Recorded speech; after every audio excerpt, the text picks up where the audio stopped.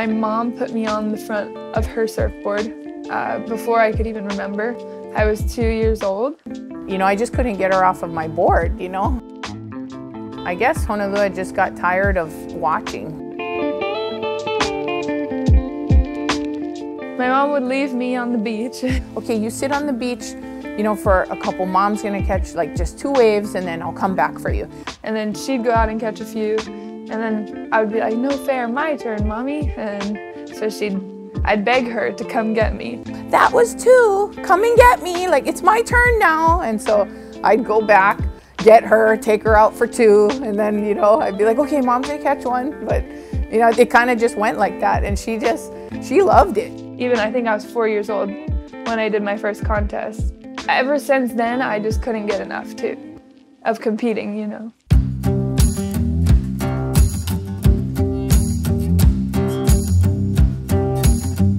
Incredible degree of difficulty right there. If you if you want a point of differentiation, do it like that. That was incredible. Oh, switch barrel. Switch two. Oh, she's looking good. She's deep. She's deep. She's good. Oh, oh. switch two been coming out. Chicken skin. I got you chicken can skin. hear the basin going off over there. I pulled it. I was like, no, there's no way. that was so good. I'm really fucking impressed. 10, 10, 10. Nowadays, I spend a lot of time on the road, whether it's competing or free surfing. Yeah, kind of just cruising and enjoying myself.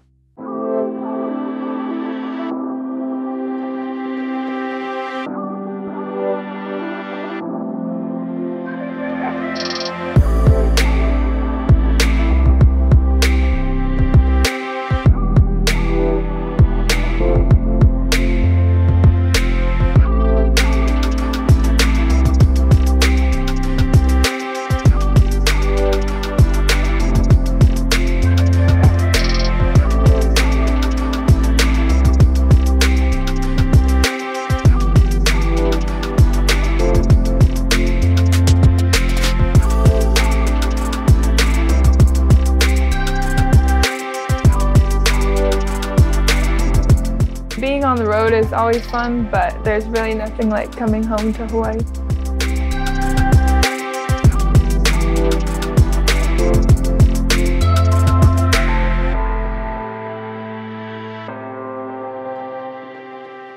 I was born on the island of Oahu, but when I was two, my family moved to Maui. When I graduated high school, I had my little surfing girl crew, and actually that was the first time we decided to go kind of on my first surf trip off the island.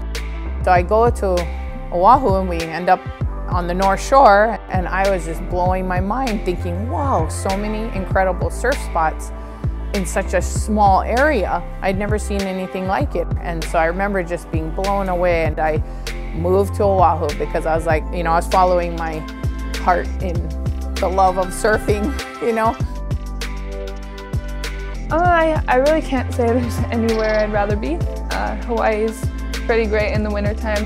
All my friends are here from all over the world and it's a really good time.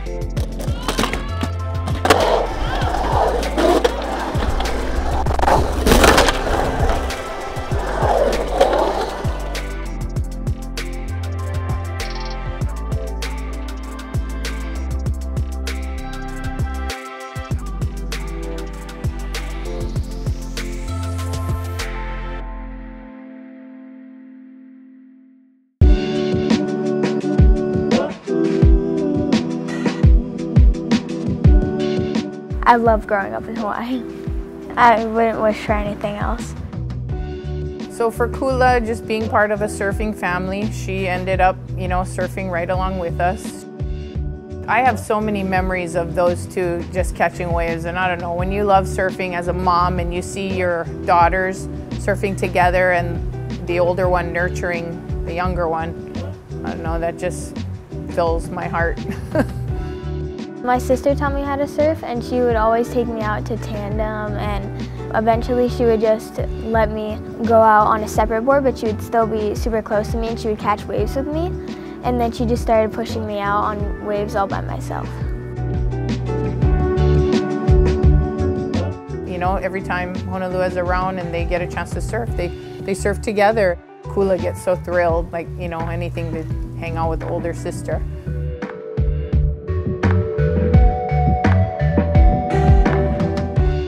It's always super exciting, um, like going back to Haleiwa where I, I learned how to surf and just kind of, it's a special thing to surf with my mom and sister there. And we'll all play on the inside, even though like we don't go out the back. It's just like a really special place for us to even just go and hang out and surf together.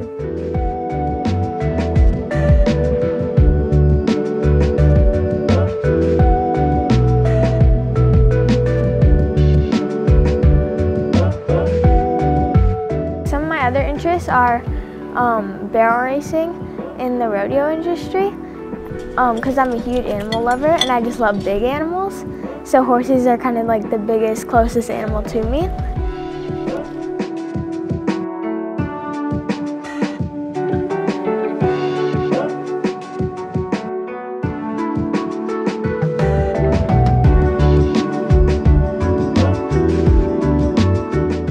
I love surfing too, but I never really wanted to be competitive in it just because my sister was really the competitive one.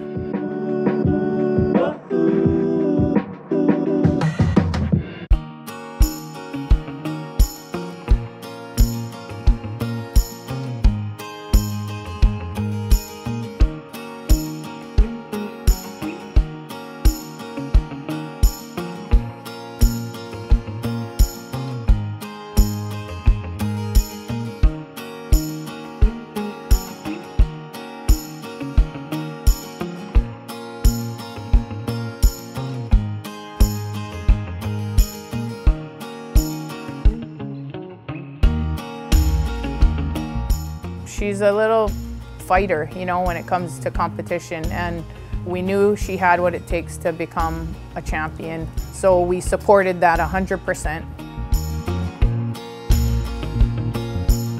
Malibu is really special to me because my longboarding career started there. I won my first surf contest there when I was 10. Uh, so winning my third world title was just a really special thing.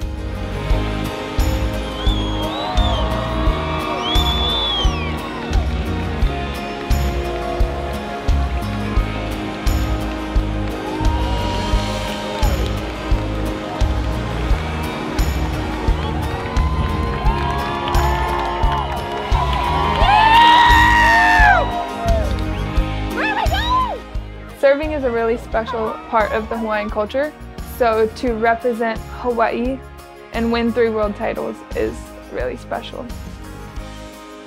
Honolua, she just makes us so proud. She's a three-time Hawaiian world champion, and I hope she makes Hawaii proud too.